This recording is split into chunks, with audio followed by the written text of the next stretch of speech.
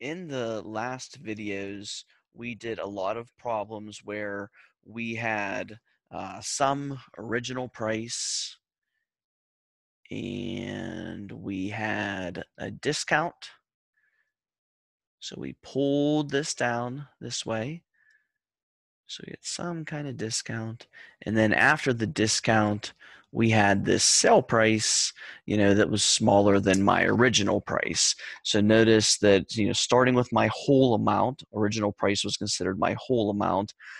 Pulling that down, my part was my sell price, and my part was always smaller because I was discounting from the original price. Now things are going to change a little bit because we're going to look at a slightly different kind of problem. This time, and let me just uh, copy and paste this thing or duplicate it. Okay, this time, uh, my starting point, instead of it, my original bar representing the wholesale or the original price, it's going to represent the wholesale price. And just so we're clear here, when we're talking about the wholesale price, we're talking about the price the store pays for the item or the cost to the store. So if someone owns a store, you know, they don't receive those goods for free. They had to pay money to acquire those goods and to put them in their store. The amount uh, of money that it costs the store is the wholesale price.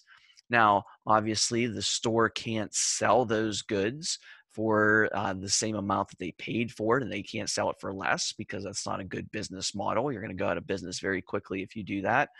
Uh, but you're going to have to do what's called, you know, make this a little more money, right? And that increase is going to be your markup.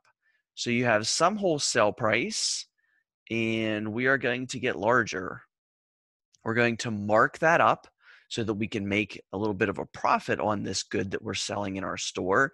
And after we do this markup, we are going to have what's called our retail price you know, which is the price tag that you will see uh, on the item in the store. So, uh, just to read this to you markups. To make a profit, stores charge more than what they pay. The increase from what the store pays to the selling price is called a markup. And uh, using our old uh, part equals some percent of the whole idea, our wholesale price is always going to be our whole. So we are always going to put our wholesale price in right here. Okay.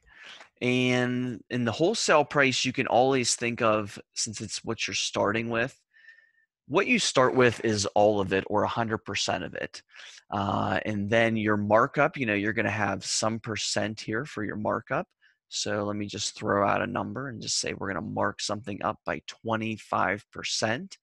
And then if my wholesale price represented 100% of the cost of the item, then I mark that up by another 25%, I'm going to add these two numbers together and my retail price is going to actually be 125% of my wholesale price. Uh, just like before, when you're doing discount problems, there's two different percents coming up here. There's the percentage that you're marking the item up, which in this example represented 25%. So we could plug that in for our percent. So we could plug in the markup percent. And in that case, our part is going to be the markup amount, you know, in terms of a number of dollars. So, for example, if my wholesale price was uh, $10 and I was marking that up by 25%, then my markup amount would be $2.50. Uh, and my retail price would be 12.50. Okay, so if you're plugging in the markup uh, percent here, and you would always do the decimal. So if it's 25%, you'd put in a 0.25 here. Realize that your part is going to be the amount that you're marking up the item. And then if the question asked you for the retail price, realize you would have to add that on to this wholesale price. The other scenario would be that you know we could still plug in our wholesale price here And rather than plugging in our markup percent, we could plug in the uh, this percent rate here. So you could think of that as basically your uh, retail.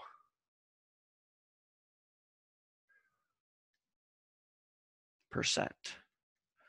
Okay, so my what my wholesale always starts at 100. I'm always going to mark it up by some percent, and then I'm going to get this new percent here that is some percent of my wholesale price.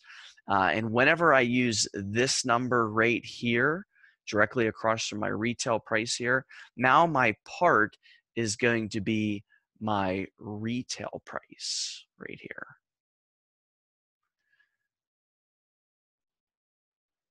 And if you're using this idea, your retail percent, you know, you're always going to have a percentage that is larger than 100%. So with this example right here, I would actually be plugging in 1.25 for my percent.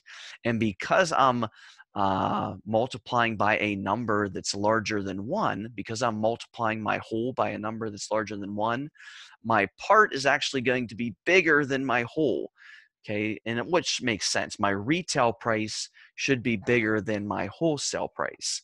Uh, so just to give you a couple uh, little formulas here to help you out as you work through this uh, remember we mentioned this uh, earlier in the video but make sure that you understand that your wholesale price which is what a store pays plus your markup which would be your increase in price would give you the price that a person would pay for the item or the retail price or the selling price. Um, a slightly different way to look at the same idea. Your selling price is always equal to your wholesale price or your cost to the store plus the markup amount. In this one, notice that they put the markup amount as some percent of the cost to the store. Uh, as long as you use these ideas and these formulas as you think through these problems, uh, it'll help you out greatly. Um, and I think that's all I have for this video.